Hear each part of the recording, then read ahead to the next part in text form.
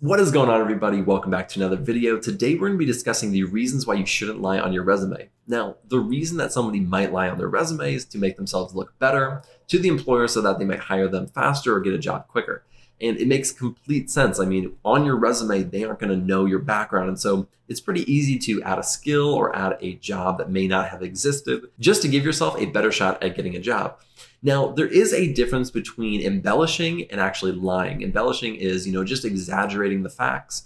Um, you know, you've had three years experience where you've only actually had one, or you say you're advanced at Python where you're really actually only maybe intermediate at best. Now, before we start this, I just want to say I am not the morality police. Okay, if you want to lie on your resume, that is up to you. I just want to talk through some of the potential issues that could come up if you actually do lie on your resume and how that could impact you in the long run. The very first reason for not lying on a resume is that during a job interview, they're going to ask about your previous jobs. And so you need to be able to speak really well towards those previous jobs. And if you can't, they can typically tell if you're lying. It's pretty easy to pick up on if somebody actually had experience and can really talk in depth into that job, or if they really can only piece together a little bit at a time most of the time it is pretty obvious. One example that I can give on this reason is I had somebody who came in and said they had three years experience using SQL in the job. And then when I gave them a pretty basic SQL interview question, they completely missed it. And I could tell that this guy did not know what he was talking about. Other than that, he was a really good candidate, but I could just tell that he was lying about his SQL experience. And we really needed someone who was good at SQL in that position. And so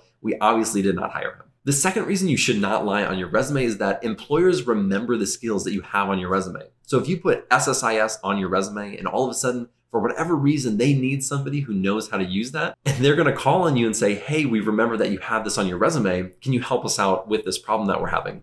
And it would be extremely awkward to say, No, I actually just put that on my resume to get hired. I don't actually know how to use it. Or you could be lying about a job entirely and they remember that you have experience in that position and then call on you hoping to get your knowledge in that area, but you really don't know anything that makes it extremely awkward. In a previous job that I worked for, a QCDR, it was a qualified clinical data registry, and it was a great position. I learned a ton. And then when I got the job that I had now, uh, I didn't really use any of the skills that I learned in that job or really the domain knowledge that I learned in that job. But then about six months into my job, they called on me and said, Hey, we remember that you used to work at a QCDR. We have an issue that we think you'd be very helpful in. Can you help us? And so I'm really glad that I didn't lie in my resume because I did end up helping them. And I think that set a really good impression for my current job. Number three is employers might do an employee verification check. And if they do that in the hiring stage, they're probably going to let you go if you're lying about one of your previous jobs. And if you were already hired, they might let you go. And that's the worst case scenario is you get hired and then immediately fired.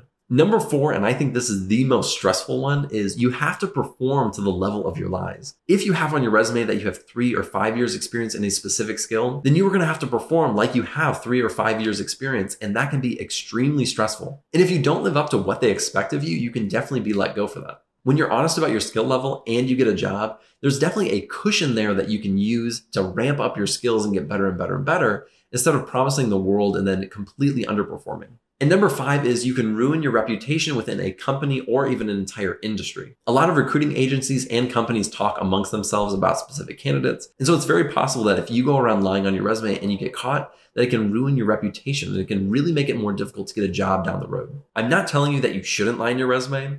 For some people, it really might work out and you might get that dream job and it works out perfectly. I just wanted to present some of the reasons that you shouldn't because there definitely is a downside to lying on your resume. Thank you guys so much for watching. I really appreciate it. If you like this video, be sure to comment and subscribe below and I'll see you in the next video.